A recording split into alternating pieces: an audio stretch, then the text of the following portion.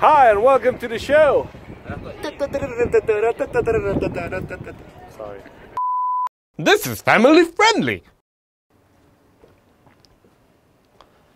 Hallo und willkommen zu 3 Minuten Johann.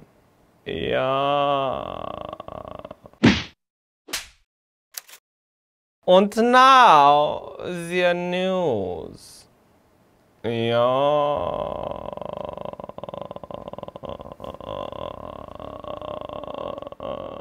Ja! The WWDC 2018. At the developers conference on Monday, Apple announced all the new software you're gonna get if you're an Apple user. Sorry, Apple loser. But no new phones or devices. I, I know I shouldn't have expected it because it's a developers conference and all, but I wanted to see some hardware, you know, to make fun of. They talked a lot about AR and all the new features, like a native measuring app that can measure 3D objects.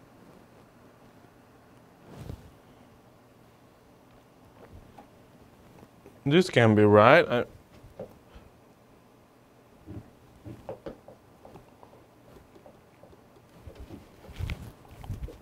The new FaceTime that can make group calls to up to 32 people, so you can annoy all your friends with one call. The new group notifications that stack your notifications in groups. Also, group fuck. No, no, it's. Yeah, sorry, wrong conference. also, they presented the new tongue detection. What? Yeah, so that your monkey emoji can stick its tongue out. Okay, but why would you make a special section in the conference just for this? Then we have Memoji, which is a copy of AR emoji, which is a copy of Animoji. So it's okay. Yes. If you copy a copy of your copy, then it's okay. Right?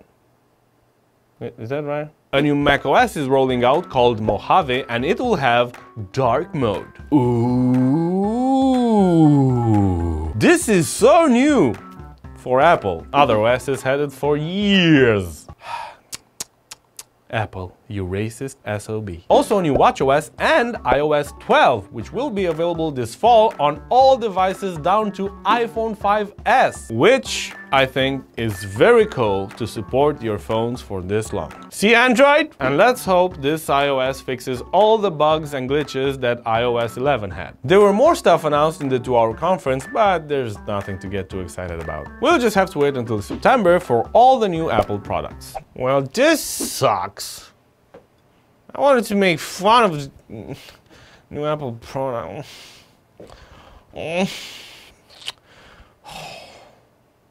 I'll just have to play with the stupid tape measure app.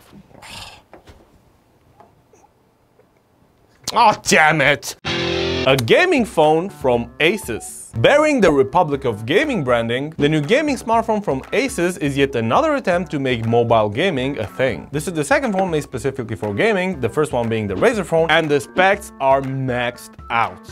I mean, just, just look at them. Just look. I don't understand how they can put so much power in a phone. It comes with the Aeroactive cooler that can be used to cool down the device while you play with the full power of the phone, but the accessories don't stop there. You can get the gamepad setup that resembles the Nintendo Switch, a WiGig dock to wirelessly stream your game on a TV, or the TwinView dock that turns your gaming experience into a two display setup with extra controls and a 6000 mAh battery, and you can even get a dock that connects your phone to a display, mouse and keyboard so you can use it as a PC, just like the Galaxy S9 and S8. We don't have a release date or a price yet, but it's expected this fall and it will cost a lot of money, money, money. But if you like gaming and you have so much free time that you can play games even when you're not home at your PC or console, get a job! Unless that is your job, in, in which case I apologize. Yeah, good advice from good old John. True bezel-less display from Lenovo? We never talked about Lenovo on this show because they never tickled my interest.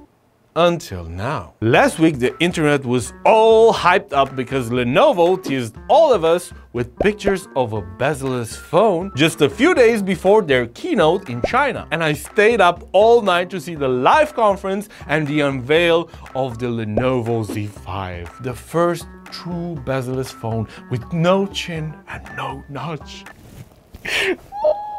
the conference 大家不要不要不要忽略这简单的三个 icon。 had no subtitles. But it didn't matter. I wanted to see the breakthrough phone. The phone that will shame all the iPhone X copies. And it was the same. It had a notch and a chin. I stayed up all night for a notch. Ah! All they did in the keynote is to show that their notch is smaller than your average notch. Just look at our notch. It's so much smaller. Or as the guy on the stage said, 这个尺寸是黄金比例。 this is maybe one of the few moments where you can brag of how small is your thing. The smaller, the better. Also, he was Chinese, and I heard they have small notches. Maybe I'm Chinese too. But why? Why? Why in Liam Neeson's name would you tease people with a bezel-less phone just before the event and then disappoint everyone? Why? Now, everyone hates you. I hate you. This is like me telling you guys that next week I'm gonna do this show naked and then just make it the same. Wouldn't that be disappointing? But you know what? I'm not Lenovo. I don't disappoint and I'm not gonna do it next week. Mm-mm. I'm gonna do it right now.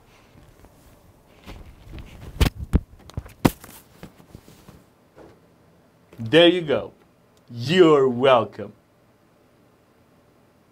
What's with the pixels? This was the show. Thanks again very much for watching. Remember to subscribe if you haven't. Leave a comment below. I'm John. Until next week, keep it safe and secure. Cheers. Chuck, why won't you look at me? Do you think I'm disgusting? Look, look at me. Look at me. Look at me! Jesus. I don't look that bad. I mean, I okay, I might. Ah.